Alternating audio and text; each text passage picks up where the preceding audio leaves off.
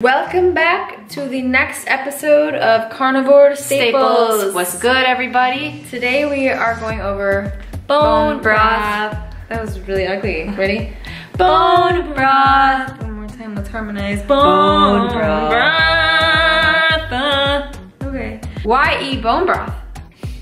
Early archaeological records show that our ancestors, so early Native Americans, um, they would actually crack the bones before they would stew them so the bones would release more and more nutrients into the soup. So clearly there's something behind this madness. And the bone broth has been used by our ancestors for such a long time, and it's been a staple of their diet. a staple, an OG carnivore staple. So another main reason to eat bone broth is for joint health, improved hair, skin with all that collagen, to increase bone strength. All that phosphate, phosphorus, magnesium, and calcium seeps out from the bones into the broth, and that's what you end up consuming. So it's kind of like Eat Little- some bones. a little To multivitamin. improve your bones. yeah. Yeah. All right. Okay, so we all know that there are a ton of nutrients in bone broth. One of the main ones is collagen. Collagen is like the glue that holds the body together. It strengthens, strengthens the connections between the tendons, joints, muscles, bones. Bone broth is also loaded with some major key amino acids. So the first one being glycine, and you guys have already heard us talk about the very important methionine to glycine ratio. And consuming a bunch of muscle meat can really throw off that methionine to glycine ratio because muscle meat's heavy in methionine. So bone broth has a good amount of glycine in it. The other major key amino acid is glutamine, and glutamine is really important for making sure your gut lining is nice and sealed, nice and tight. So we don't want any gaps in the gut lining. So glutamine can help repair that, you know? Probably why you always see on like leaky gut regimens to drink bone broth. And then of course it's loaded with a ton of vitamins and minerals and that's really gonna vary depending on the type of bones that you use, which is why we like to put in a wide spread of bones from different animals so that way you're covering a wider nutrient base. So you made some bone broth, but how do you know if it's actually good bone broth? And the key here is if it gets jiggly, jiggly. If your bone broth don't get jiggly, Did it, did it jiggle? No. No. So bone broth gets jiggly if you put hot broth into the fridge and it let it cool. If it gets jiggly, it means that there's a good amount of gelatin in there and all gelatin is is the cooked form of collagen. If your broth isn't jiggly, it can still have a good amount of vitamins and minerals from the bones, but it's a good sign when it's jiggly, you know that you got your gelatin and collagen in there. All right, so tips to make sure that your broth has enough gelatin in it and to get that wiggly jiggly broth is to make sure that your you have enough collagen in your raw materials. So that's gonna come from things like tendons, uh, chicken carcasses, chicken feet, which is one of our favorites. So bones have a little bit, but it's best to include other Byproducts. well, yeah, other products that have the collagen in it. You can also add heads, Wings. wings tails, whatever. Skin, good. And that collagen is extracted during the cooking process. So another thing you could do is add apple cider vinegar, which just helps extract that collagen from the uh, from the raw materials. We don't really do this though. No, because we put a lot of chicken feet in. So macros for bone broth are going to vary. So usually it's pretty much protein. I'd say like seven to 10 grams of protein per cup and maybe one to three to four grams of fat per cup, which is 240 grams. It, again, it just 240 depends. milliliters. milliliters. It just depends on what you put into the broth, but you're gonna get some protein from that. All right, so now we're gonna show you how we make the broth. Let's go. All right, so we've got four tips for prep steps. So start saving all the bones. So marrow bones, save these marrow bones. We like to eat the raw bone marrow out of it. Save these bad boys. Save bones from the steak that you eat. This is from our chuck roast. Save them bones. Save chicken carcasses. Save them bones. Save all them bones. Save all them bones. The more bones you get from different animals, the more like wider nutrient base that you are going to cover. All right, so tep, step or prep step two is to get a hold of some chicken feet. Y'all, these are super cheap, and then they're also gonna help you ensure that your bone broth's gonna get jiggly because there's a lot of collagen on these bad boys. You didn't put chicken feet in your bone broth. Does it jiggle? I don't know. Once you have all of these, uh, prep step number three is just gonna keep them in the freezer until you are ready to make your bone broth. That'll make sure that they stay high quality, you know. Um, but then of course, when you are ready to make your bone broth, step number four is to let them sit in the fridge overnight, which is what we did with our bones. So they are now de-thawed and ready to make our bone broth. Let's go. Step one of making the bone broth, we are going to roast all of the bones at 400 degrees for about 20 minutes. And for this size crock pot, I don't know what size this is. For this size crock pot, we have about five to six pounds um, of bones. And we like to just, you know, season them a little bit with some sea salt before So, tossing them in. Why And do you roast them?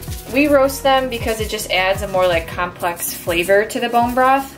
And because we choose to not add any like spices like garlic and stuff like that or vegetables to uh, to add to the flavor, we find that like roasting the, the marrow bones adds a nice little robust flavor. But little get a little close up on these. How beautiful. So the meat on here, the connective tissue on these bad boys.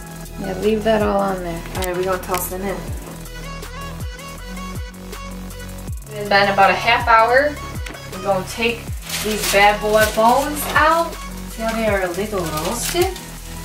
Gonna take these bones out and just let them cool. Because don't burn, don't burn yourself, you know. So we should let them cool about 15 minutes probably. Oh, I just want to eat that meat right there. Mm. All right, once the bones have cooled down, we're gonna just load them into the crock pot. I like to put the big ones on the bottom. Make sure we can load these bad boys up. Okay, so now that you fit all the bones in there, we like to add the chicken feet. Let's get a close up. Close up with these chicken feet. Beautiful chicken feet. So I, I add about five um, for each time.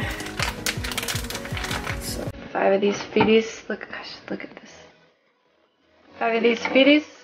And gonna fill it up with water. Throw some sea salt in there, and then we will return in 24 hours.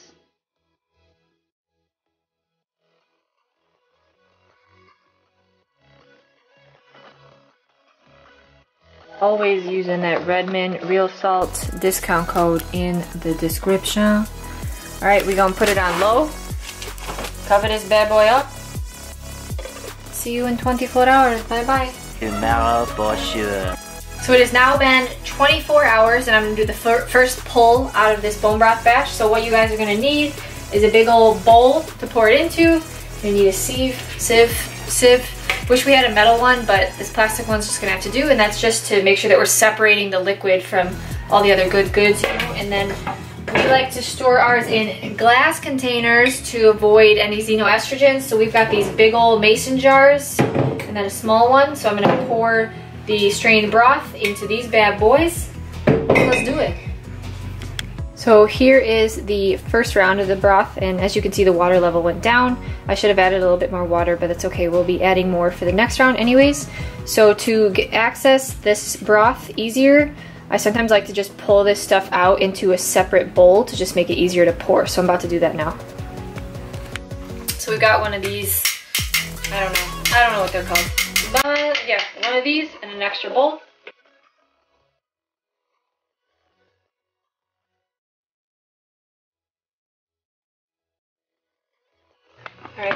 So now it'll just be easier to just pour this. Just set this aside. Put this bad boy on top of here. Oh, it's a little small. Mm, I need Cece to hold this. Okay, I can do this. Very careful, cannot waste any broth and is good good.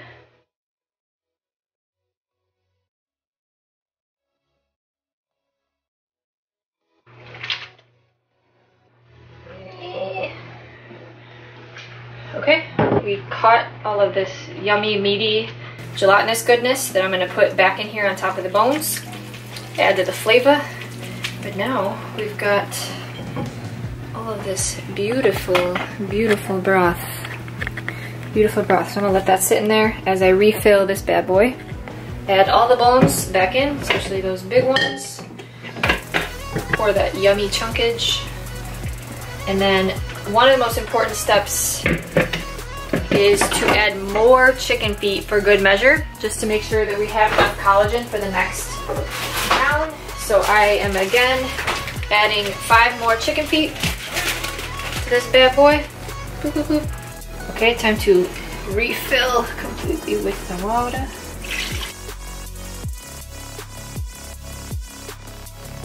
And of course, gonna add some more Redmond real salt. I'm gonna do a better job monitoring this over the next 24 hours to add water um, as some of it reduces down. And we'll put it back in the crock pot and we will see it again in another 24 hours. For the first round of broth that we got, we put it in one of these big mason jars.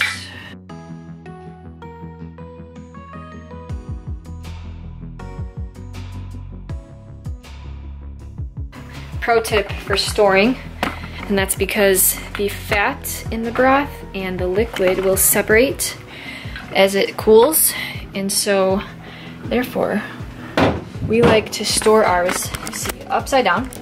And the reason for this is because the fat is gonna rise to the top here and then you'll have easier jigglage access. So the jigglage you can just pull straight from and the rendered tallow will be sitting right here. You all will see tomorrow. So batch one. Next morning. All right, so it is the next morning and as you can see the water line went down just a little bit. So before I pull the broth uh, later this evening, I'm gonna refill a little bit more water to get a little bit more return, you know? And if you have a problem with like this bubbling up, uh, one thing that I like to do is just like put something like a pot down and that like really keeps the lid on it doesn't bubble up or in like leak on the outsides. The next day. It is now 48 hours since we first put water in there so this is now the second batch and let's see what it looks like. So we're gonna take this pot off it looks like we got some good goods. So at this point in time you have to make a decision. Are you gonna be adventurous and go for a third batch so add a little bit more chicken feet, maybe take out some of the bones, put in different bones. It just depends on how much broth you want at a given time. So since there's only two of us, um, this broth should be enough for like a week or two and then I'll just make another batch. But if you're trying to get a big return on your bone broth, get the most bang for your buck time-wise, um, you can definitely add a few more bones, take out some of the, the bones that kind of look a little bit more white, um, add a little bit more chicken feet and definitely go for that third round. But I'm gonna call it quits here just because we don't need that much. So for straining the last batch, again, I'm gonna separate, like take all the bones out and then pro tip, save your chicken feet. Keep these bad boys. These are so good to eat and we will share how we eat these after. But oh my gosh, keep these bad boys. So I like to set these aside so that they don't get destroyed by the bones. Be gentle, be gentle with these bad boys. So we've got the second batch of the broth. We got all them bones.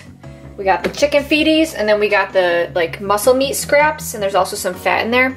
Guys, save this, crisp it up on the cast iron. It's a delicious little protein crunchy snack.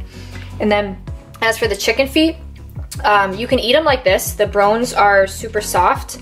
Um, or we like to roast these in the oven for about 20 to 30 minutes um, to just get them a little bit more crispy uh, at 400 degrees. So that's our favorite way to eat the, the chicken feet and it's a great source of calcium. All right, so just added batch two to the fridge and as you can see we got a lot, a lot more return on the second batch because I remembered to add water about 12 hours into the second batch once the water line started to drop. But now we go and check out batch one and see if the jigglage was achieved, which I think you can tell it is quite jiggly. Let's see. Tallow or the fat is right here, but now we can open this bad boy up and have instant access to the jigglage, making it much easier to separate. Let me set this up, because this is not easy when Cece is not here. I'll do this all on my own. Okay. So, open this bad boy up. Oh, you saw that. Oh, yes. Oh, yes. Can y'all see that jigglage? Wiggle, wiggle, wiggle, wiggle, wiggle. Okay, so let's see. If I take a little bit out. Uh, you can see there's still a little bit of like muscle meat scraps in there. That's totally okay. I mean, look at how crystal clear, beautiful it is here. Meat jello that was achieved. Is like my tradition. Okay, I'm gonna set it up. Yes, I'm setting this up for myself. If you didn't get jiggly with your broth, did it really jiggle?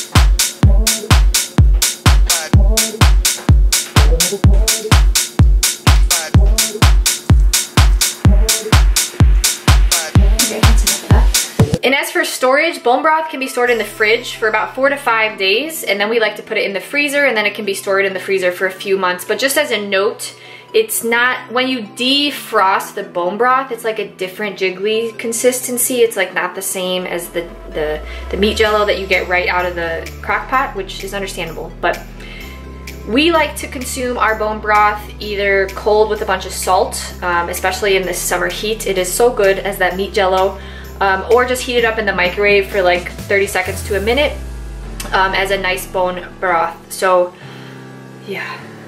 Okay, thanks for tuning in to this episode of Carnivore Staples, how to make bone, Bone broth. Really appreciate spending our little bit of afternoon with you. Hope you enjoy. Let us know in the comments below what next staple you'd want us to review. Let us know also if you try this bone broth recipe or have any success getting your bone broth extra jiggly wiggly. Until next time, y'all, behave like an angel.